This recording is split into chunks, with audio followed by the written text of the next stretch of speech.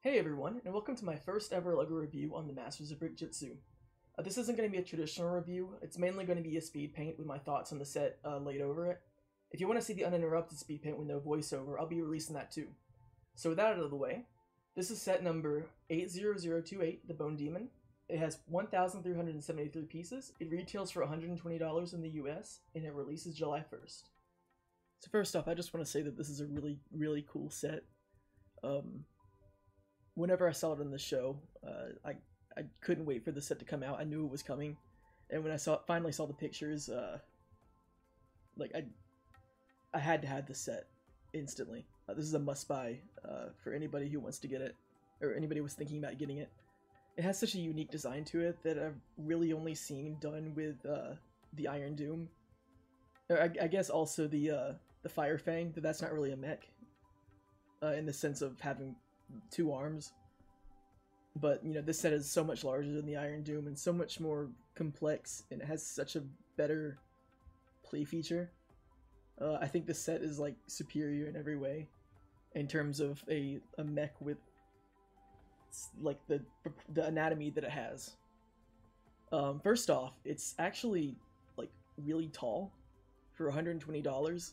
Uh, it's actually taller than the Warrior mech, despite the Warrior mech being uh, $30 more expensive. And I, I guess, granted, uh, the Warrior mech has a bunch of side builds to it that are pretty major, um, whereas the uh, the Bone mech really only has like the small little um, archway thing, and a, uh, I guess a mech too. Yeah, it has another mech. Um, but you know, obviously the uh, the Bone mech isn't gonna scale well with the Warrior mech in the show. It's like it's so big compared to the warrior mech can literally hold it in its hand. Um, so obviously they can't like make the bone mech to scale without it being like three feet tall and thousands of dollars. Um, but I'm I'm really glad that it's at least a little bit taller than the uh, the warrior mech, just so we can kind of get that like intimidation, um, like function I guess of it. Uh, it, it also kind of does like incorporate the sense of scale by including this small little scaled down version of the warrior mech, which I'm assuming it's supposed to be the warrior mech. Um, it doesn't look like it all that much, um, and if I had to change anything about it, I would probably try to, I would probably make the uh, the small warrior mech look a little bit more like the big one.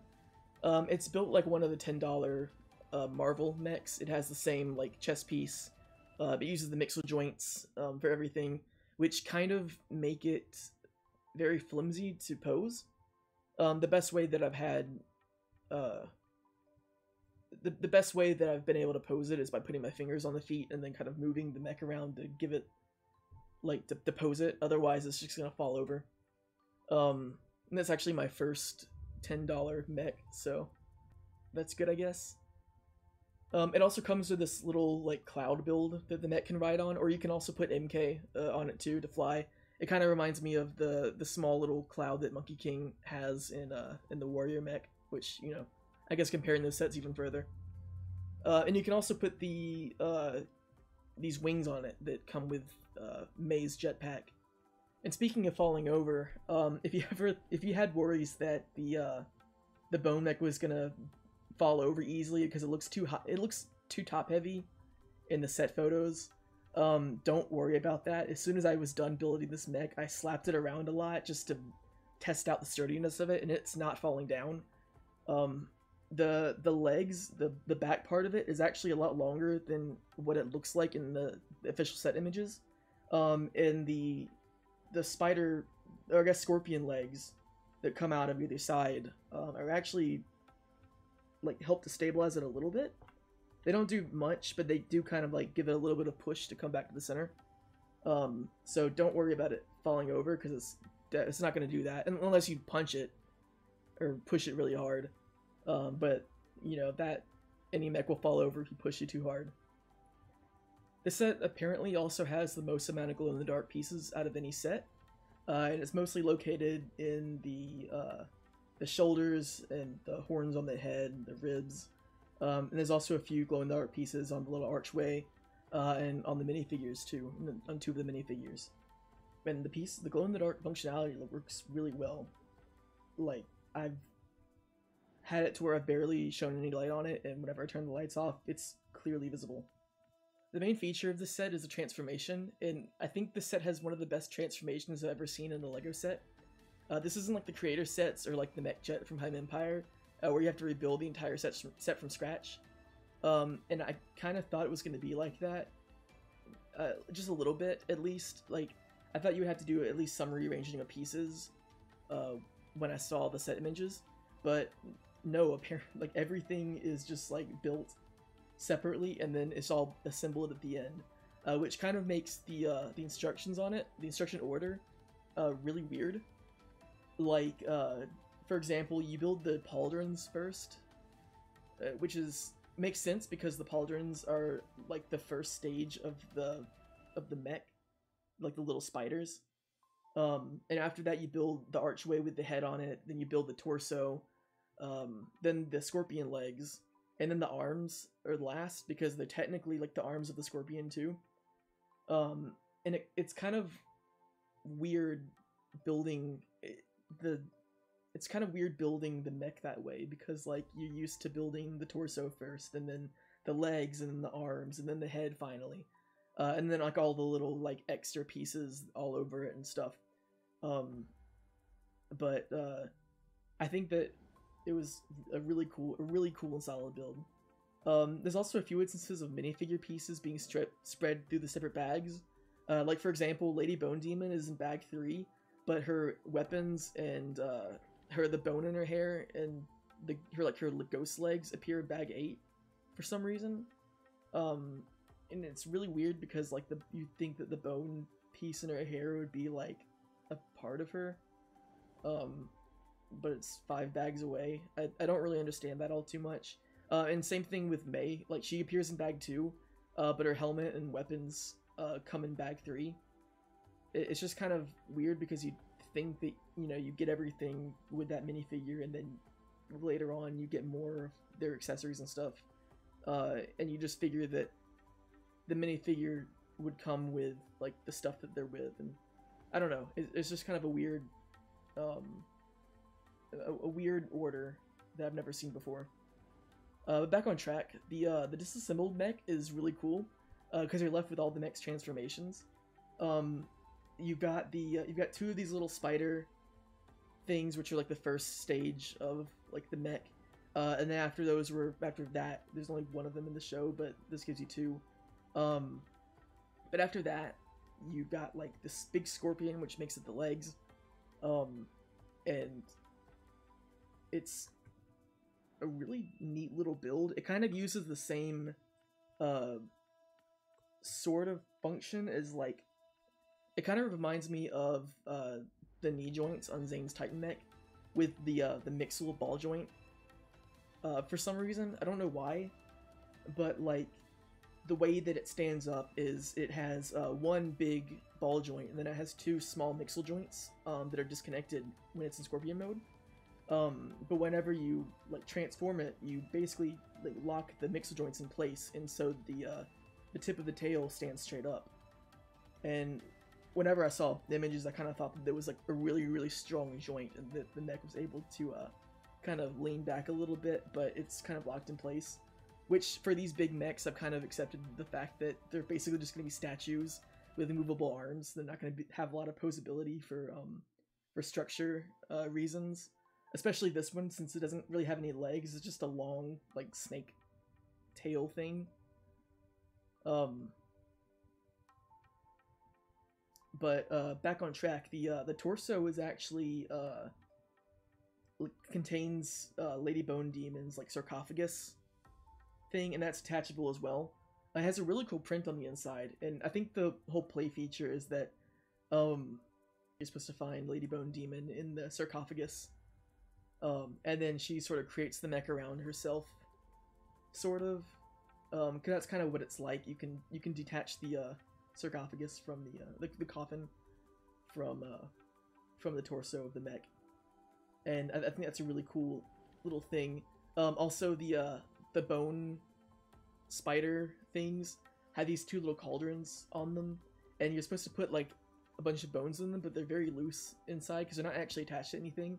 So what I've done is I've taken the uh, the bones and all the accessories and everything, and I've kind of put them in the uh, the coffin whenever it's not in use.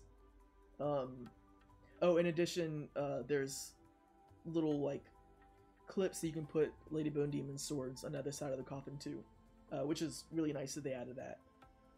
Um, as for other little like cool things about the set, I really like the the vinyl pieces that kind of act as the uh, the mech's like cape. It's not really a cape; it's more of like um, two big banners, um, and I think those are really cool. Like they have a really neat design on them.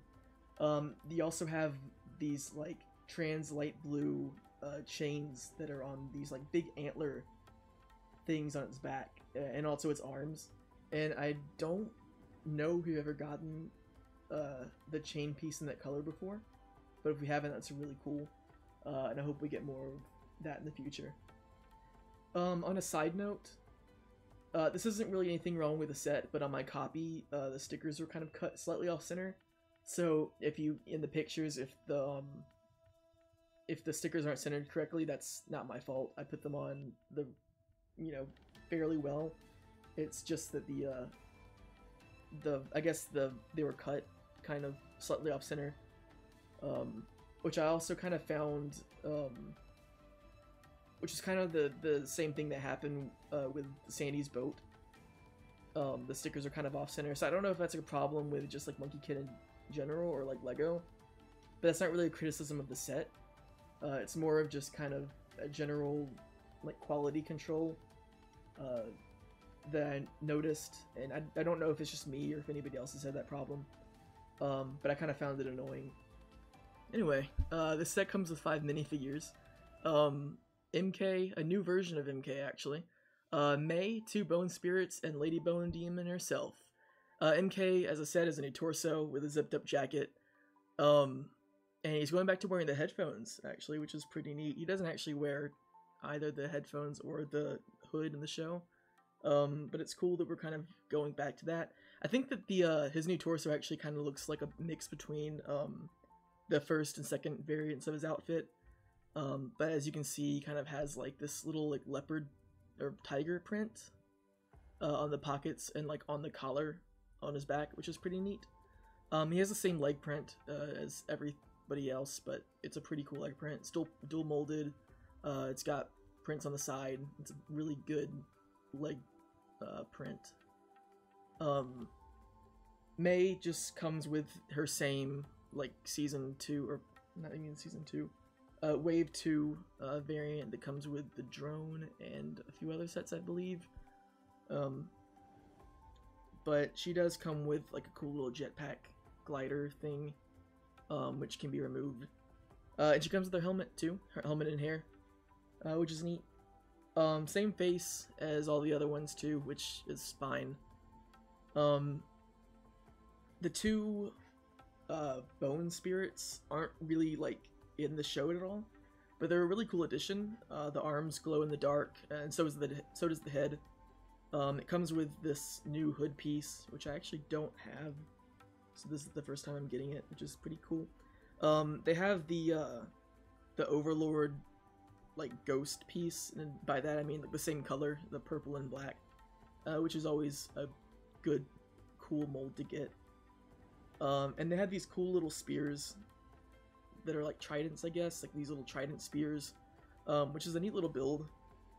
Uh, and finally, you have Lady Bone Demon, or uh, in the box, she's known as White Bone Demon, um, which is also her name in Journey to the West. So I guess either name is fine. Um, I guess if you watch the show, you call her Lady Bone Demon. Um, but whatever. Uh, and this is a really, really cool minifigure. Uh, I'm glad we finally get her after all this time. Um, she has such a cool design. It kind of reminds me of the Overlord a little bit, like the the um one from Rebooted, with like the uh the purple and black and like, the smoky bits and everything, with like the rib cage and it, she just looks like a female version of the Overlord, which I think is awesome. Um, her hair is made out of rubber, which is a little disappointing, but I guess if you want to have all these little like sharp bone like bits all over her hair, you want to have it a softer material. Um, it does hold a bone, kind of like um, that one rubber hair piece that uh, Tox uses. Um, but that's really all I have to say about her. She also comes with another one of those um, the ghost legs. If you want to give her that, I don't really know why you would. I think that the the print on her uh, her dress piece is really cool.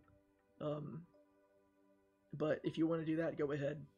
Uh, one little thing I have about the uh, the minifigure selection, uh, and it's not even really like a, a major problem. It's more of just like a little nitpick that I had. Um, I kind of wish that we had gotten the mayor in it. Um, you know, Monkie Kid sets have a lot of civilians in them, and you could easily have like made uh, the mayor is like uh, mayor in quotes uh, as a civilian, uh, where he has just like a normal face on one side, and then like the the scary, you know, evil face on the other side. It'd be really easy to do. Like all he wears is a suit, and he has like the most like simple hair ever. Um, he just has Tang's hair. But uh, yeah, it's more of just a nitpick. Uh, you could easily make a custom of him of him if you wanted to.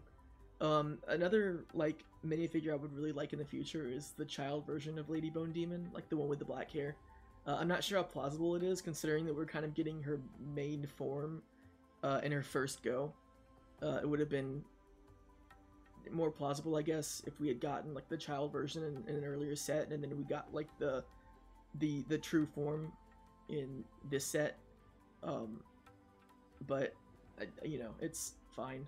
It's like I'm really glad that we got this version of Lady Bone Demon, and I'm really happy with this uh, selection overall. Uh, I think it's actually the best minifigure selection of this wave.